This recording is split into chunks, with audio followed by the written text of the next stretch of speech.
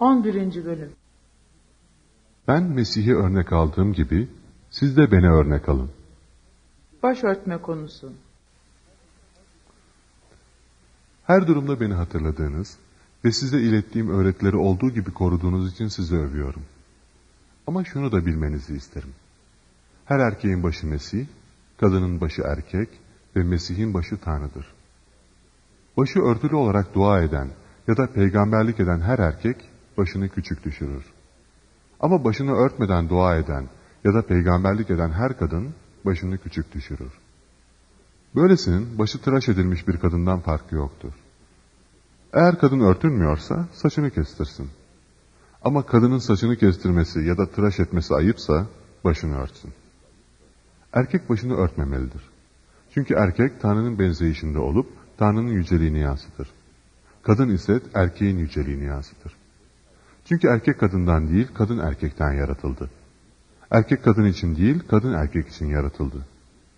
Bu nedenle ve melekler uğruna kadın bir yetki işareti olarak başını örtmelidir. Ne var ki, Rab'de ne kadın erkekten ne de erkek kadından bağımsızdır. Çünkü kadın erkekten yaratıldığı gibi erkek de kadından doğar. Ama her şey Tanrı'dandır. Siz kendiniz karar verin. Kadının örtüsüz başta Tanrı'ya dua etmesi uygun mu? Dua bile size erkeğin uzun saçlı olmasının kendisini küçük düşürdüğünü ama kadının uzun saçlı olmasının kendisini yücelttiğini öğretmiyor mu? Çünkü saç kadına örtü olarak verilmiştir. Bu konuda çekişmek isteyen biri varsa şunu bilsin ki bizim ya da Tanrı'nın topluluklarının başka bir geleneği yoktur. Rabbin sofrasına ilişkin öğütler Toplantılarınız yarardan çok zarar getirdiği için aşağıdaki uyarılarımı yaparken sizi övemem.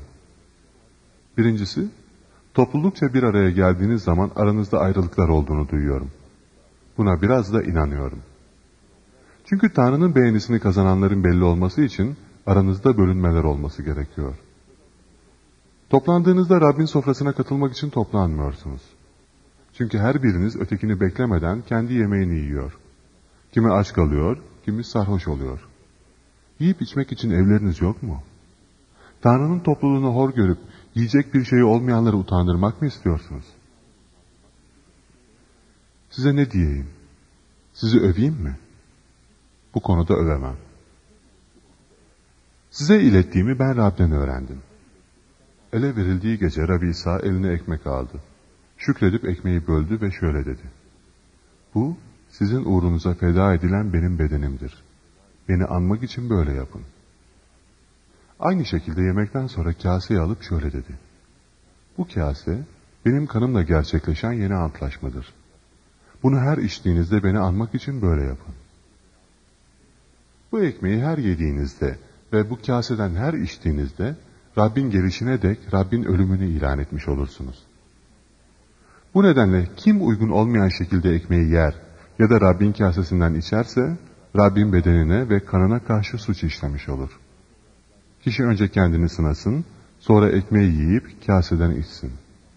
Çünkü Rabbin bedenini fark etmeden ekmeği yiyen ve kaseden içen, böyle yiyip içmekle kendi kendini mahkum eder. İşte bu nedenle birçoklarınız zayıf ve hastadır. Bazılarınız da ölmüştür. Eğer kendi kendimizi sınasaydık yargılanmazdık. Dünya ile birlikte mahkum olmayalım diye Rab bizi yargılayıp terbiye ediyor. O halde kardeşlerim, yemek için bir araya geldiğiniz zaman birbirinizi bekleyin. Aç olan varsa karnını evde doyursun. Öyle ki toplanmanız yargılanmanıza yol açmasın. Diğer sorunlara gelince onları yanınıza geldiğim zaman hallederim.